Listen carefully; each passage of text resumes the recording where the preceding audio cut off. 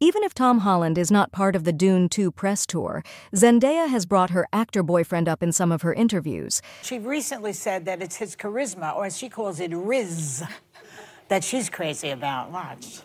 I think someone who has beautiful charisma, not on the Dune cast, but I personally works for me, is Mr. Tom Holland. He's great at just like talking to people and getting to know people and like you see him on talk shows and stuff like that. He's just naturally very good at that. Whereas for me, I've, I've definitely had to like pull it out of me a little bit. Zendaya has praised her actor boyfriend Tom Holland for having beautiful charisma.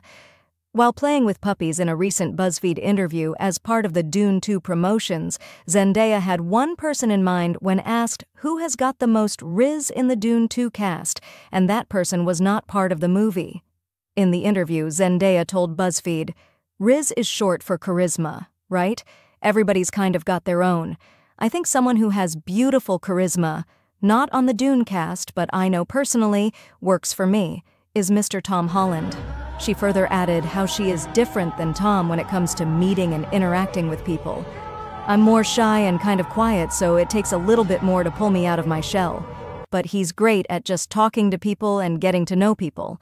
You see him on talk shows and stuff like that, he's just naturally very good at that. Whereas for me, I've definitely had to pull it out of me a little bit.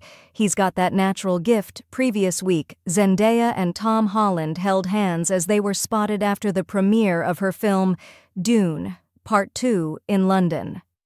Tom was seen escorting Zendaya towards their car in a video that surfaced on X.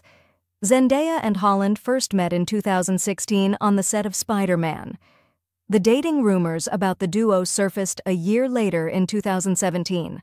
Although the pair has managed to keep their relationship extremely low key, they were spotted kissing publicly in 2021, which broke the status of their relationship. Zendaya is earning rave reviews for her work in Dune 2. The Denis Villeneuve film stars Timothée Chalamet, Rebecca Ferguson, Josh Brolin, Austin Butler, and Anya Taylor Joy.